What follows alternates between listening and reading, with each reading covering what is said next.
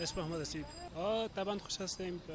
باران یکی از نعمت های خداوند جل جلال هست چون در اشاره کابل بسیار گرد و آلوده و آب هوا بسیار خراب بود.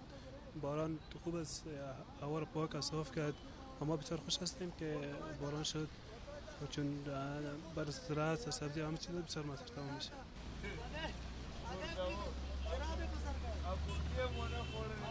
زه محمد یونس د لغمان ولایت اوسیدونکو او فعلا کابل کې په لخشتي سره یو.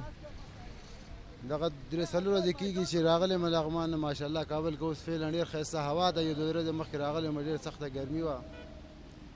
ګرمش لږ زیات و.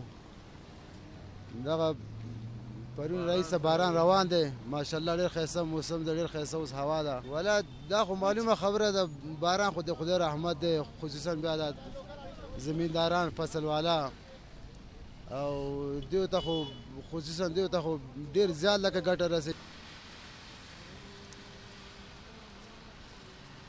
باریدن رحمت پروردگار است. این نیست کسی زمین داشته باشه نداشته باشه. مرازا گم میشه آب هوا شفاف میشه پاک میشه بسیار جای شکر است. جای افتخار است. دیگه باریدن ما بسیار راضی هستیم بسیار جای شکر است که باریدن شد. پیش از باریدن مرازا هم زیاد بود. مردم ناراضی بوده. بسیار حالت خراب بوده. کال بسیار جای شکر است الحمدلله.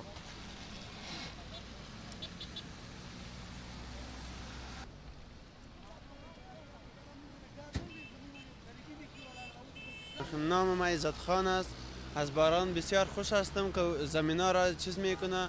نعمت خداست آبادی میشه مریضی گم میشه. از بارش ما بسیار خوش هستم.